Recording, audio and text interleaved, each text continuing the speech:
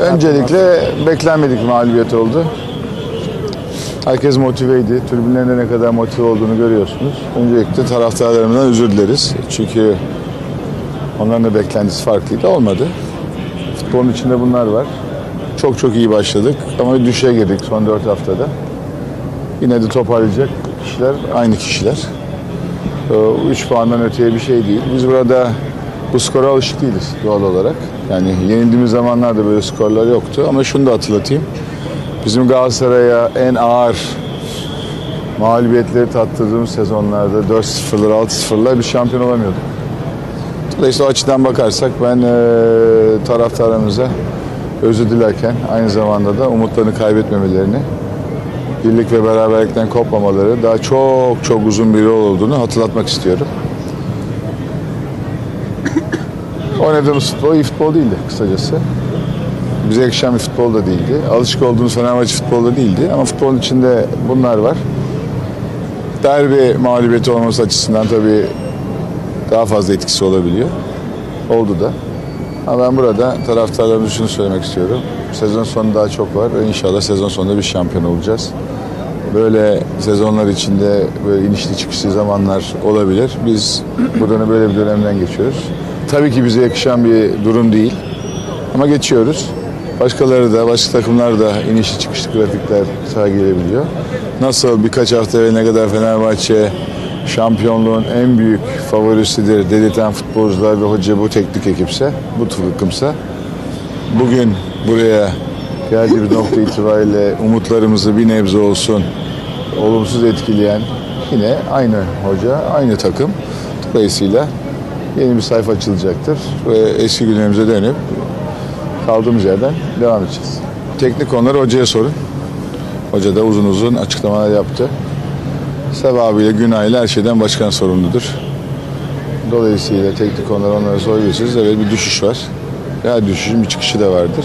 Önemli bir 3 puan kaybettik burada. Ama dediğim gibi dünyanın sonu değil. Biz rakibimize göre sezonun bütününe baktığınız zaman sadece bugünkü rakibimize değil, genel şampiyon rakiplerimize istatistik olarak da baktığınız zaman yani yine rakamlar oyun şekli, şemali, güzelliği, ezici galibiyetler hep bizden yana oldu. Biz bunları yaşadık.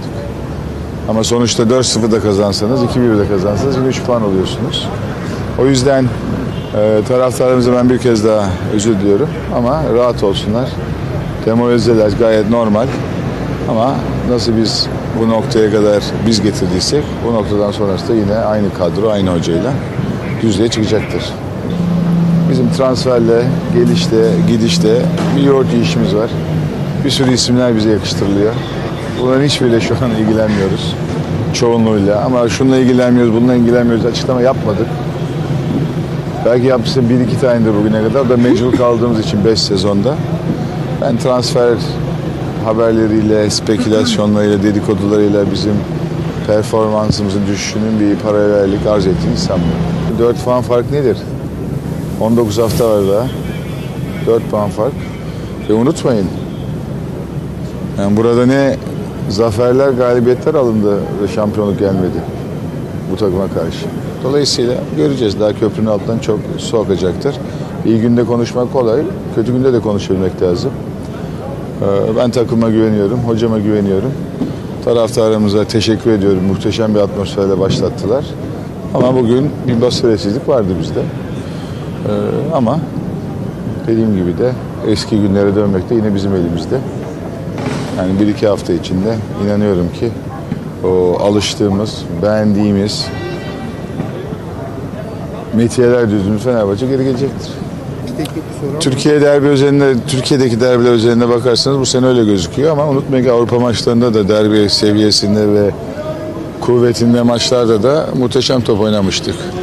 Dolayısıyla eee, çok fazla üstüne durmamak lazım. Bir 3 puan kaybettik. Önemli bir 3 puan kaybettik. Önemli bir rakibimize karşı kaybettik ama dünyanın sonu değil. Ben takıma güveniyorum. Taraftarımıza güvenmeye, inanmaya devam etmelerini özellikle rica ediyorum. Onlara bir kez daha teşekkür ediyorum burada yarattıkları atmosfer için. Ee, Ve Onları mutlu yollayamadığımız için eve de özür diliyoruz. Teşekkür ederiz. Sağ olun.